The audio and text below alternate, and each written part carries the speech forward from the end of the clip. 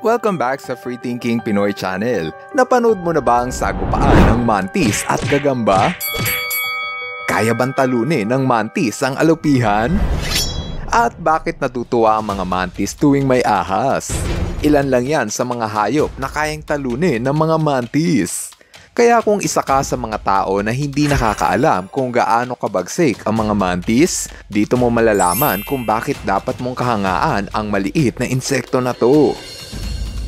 Umpisahan natin ang kwentuhan sa mantis versus camel spider. Ang camel spider ay malapit na kamag-anak ng mga gagamba. Kahit sino ay kikilabutan kung first time mong makakita ng camel spider. Meron kasi itong matulis na mandible na ginagamit nila upang uyain ang kanilang biktima. Mahusay silang hunter at minsan na itong namataang humuhuli at kumain ng ibon.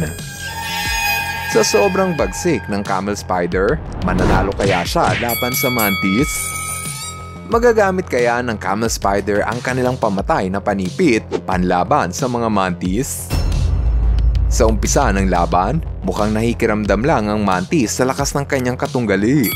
Nilapitan ng camel spider ang mantis at dito na nga nag-umpisa ang kanilang bakbakan. Naglaban ng dalawang insekto na parabang sila ay mga veteranong mandirigma. Inabot ng tatlong minuto ang kanilang laban. Sa huli, natalo ng mantis ang camel spider. Partida at kinain pa niya ito habang nakahiga. Kahit mukhang nakakatakot ang camel spider, no match naman pala sila sa galing ng mga mantis. Number 2, mantis laban sa putakte. Kilala natin ang mga hornet bilang masakit manusok. Delikado ito dahil sa taglay nilang venom. Kada taon, may anim na pong katao ang binabawian ng buhay matapos matusok ng putakte. Hindi lang yan, dapat mo ring malaman na ang mga hornet ay malupit na kalaban. May kita sa video ang pangbibiktima ng putakte sa kawawang daga. Inatake pa rin ng hornet ang daga kahit na apat na beses itong mas malaki pa sa kanya. Sa sobrang tapang ng mga hornet, sino kaya ang mananalo sa kanilang dalawa ng mantis? Para malaman ang kasagutan, pinagsama sa hawla ang dalawang insekto. Mukhang ayaw nilang mag-away at dinadaan-daanan lang ng hornet ang mantis na parang estatwa. Maya-maya lang, biglang umatake ang mantis sa putakte. Magkasing laki lang ang katawan ng dalawa kaya masasabing patas ang laban. Mas masakit manusok ang hornet, ngunit mas mabilis kumilos ang mantis. Sa huli, muling nanaig ang tapang ng mantis. Inumpisahan niyang kainin ng hornet mula sa katawan. Pagkalipas lang ng limang minuto, gutay-gutay na ang katawan ng matapang na hornet. Number 3, Mantis versus Spider.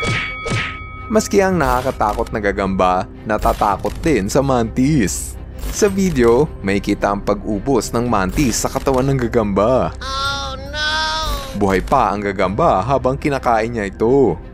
Inuumpisahan niyang kainin ang katawan nito mula sa binti hanggang sa katawan. Makalipas lang ang sampung minuto, wala nang natira sa katawan ng gagamba. Sa sobrang tapang ng mga mantis, sino kaya mananalo kung ang humamon ay isang weaver spider? Ang weaver spider ay isa sa pinakamalaking gagamba at malamang ay nakakita ka na nito. Sa isang experiment, nilagay sa glass cage ang mantis at weaver spider. Naging mainit ang kanilang sagupaan lalo na't pareho silang malakas. Gayunpaman, may superpowers ang gagamba na pwede nilang ipanlaban sa mantis. Yan ay ang makamandag na kagat. Ang kamandag sa kagat ng weaver spider ay hindi delikado sa mga tao, ngunit nakamamatay ito sa maliliit na hayop gaya ng mantis. Kinagat ng gagamba ang mantis at kitang-kita ang pagiging paralyzed ng mantis. Sa huli, natalo ng gagamba ang mantis dahil sa kamandag. Number 4. Mantis laban sa scorpion. Kung sa gagamba natalo ang mantis, mananalo kaya sila sa alakdan? Ang mga Scorpion ay may makamandag na palusok at ito ang kanilang pamatay na panlaban. Upang magkaalaman kung sino ang mananalo, inilagay sa glass cage ang parehong magkatunggali. Nakikiramdam ang isa't isa sa kung sino ang unang aatake. Nang ginanahan ng umatake ang mantis, pinatikim niya rito ang kanyang karate chops. Umatake ang mantis ngunit mukhang hindi tinatabla ng scorpion. Tinamaan ng malas ang mantis dahil natusok siya ng kamandag. May kita sa video ang pagkatusok ng mantis sa buntot ng scorpion. Hindi lang isa, kundi dalawang beses na natusok ang mantis. Dahil sa kamandag ng scorpion, agad na binawian ng buhay ang mantis. Sa laban na ito, talo na naman ang mantis. Maraming pagkakataon na ang mantis naman ang panalo kontra sa alakdan. Nananalo lang ang mantis sa tuwing baby pa lamang ang scorpion. Dahil dyan, masasabi natin na ang scorpion ang isa sa pinakamahigpit na kalaban ng mga mantis. Number 5. Mantis versus Centipede Sa lahat ng kanilang makakalaban, ang mga centipede ang may pinakamaraming paa. Dahil sa dami ng kanilang paa, sobrang bilis nitong kumilos. Isa rin ito sa pinakakinatatakutang insekto dahil bukod sa meron itong kamandag, sobrang sakit pa ng kagat nito. Kung ikaw ang tatanungin, sino kaya ang mananalo? Mantis o ang alupihan? Para malaman ang kasagutan, muling nilagay ang mantis sa loob ng glass cage. Kasama niya sa glass cage ang isang centipede. Mukhang sa umpisa pa lang ng sagupaan, halatang takot na agad ang mantis. Nilingkisan ng centipede ang mantis at saka sila naglaban ng kagatan. Kinakagat ng mantis ang tiyan ng centipede at ang centipede kinakagat din ang mantis. Hindi rin nagtagal, unang binawian ng buhay ang mantis. Yan ay dahil sa ang centipede ay may makamandag na kagat. Ang kamandag ng alupihan ang siyang kumitil sa buhay ng kanyang kalaban. Dahil dyan, napatunayan natin na ang kampyon ay ang centipede. Mukhang mahina ata ang mantis sa tuwing may venom ang kanyang kalaban. Bilang premyo, kinain ng alupihan ang katawan ng mantis. Number 6. Mantis laban sa ahas. Ito ngayon ang labanan na siguradong kaaaliwan mo. Paano kaya mananalo ang mantis laban sa ahas? Mag-uumpisa ang kanilang bakbaka ng may ahas na gustong dumaan sa tabi ng mantis. Ang ahas ay may sapat na lakas upang sila ay lumaban. Unang umatake ang mantis at sinunggaban nito ang katawan ng ahas. Masyadong malakas ang mantis at hindi kaya ng ahas na tumakas.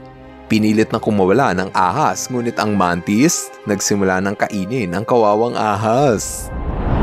Nginuyang-nguya ng mantis ang makaliskis na balat ng ahas.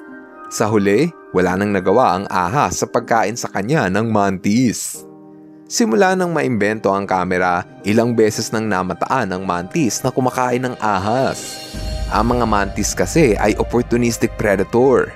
Ibig sabihin, kinakain nila ang anumang hayop na sa tingin nila ay kaya nilang kainin. Dahil sa bagsik ng mga mantis, sila ay naging notorious bilang snake killer. Ang last sa ating tunggalian ay ang lizard laban sa mantis. Maraming lizard ang kumakain ng insekto at isa na rito ang mantis. Nakita mo na kung paano tinalo ng mantis ang ahas, kaya mapapaisip ka kung sino ang mananalo sa kanilang dalawa. Dito sa taas ng puno, nagkita ang landas ng lizard at mantis. Aatake na sana ang lizard kung hindi lang siya naunahan ng mantis. Mukhang nagulat ang lizard sa bilis na nangyari at parabang nanigas ang katawan nito at hindi alam ang gagawin. Nagpumiglas ang lizard kaya hindi natuloy ang masamang balak ng mantis. Pero hindi dyan natapos ang laban. Muling bumalik ang mantis para tapusin ang buhay ng kanyang kalaban.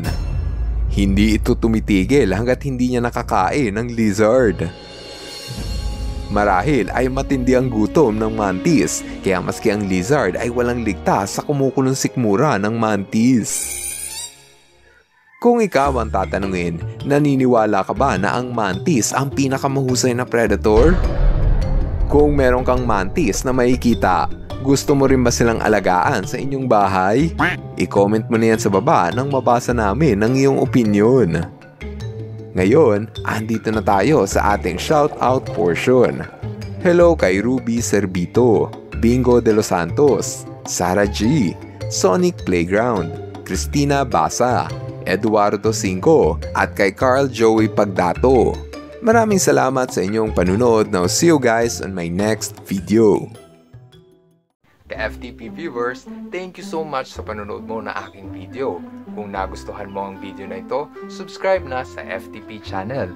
Don't forget to hit the bell button para updated ka sa mga bagong videos. Paalam!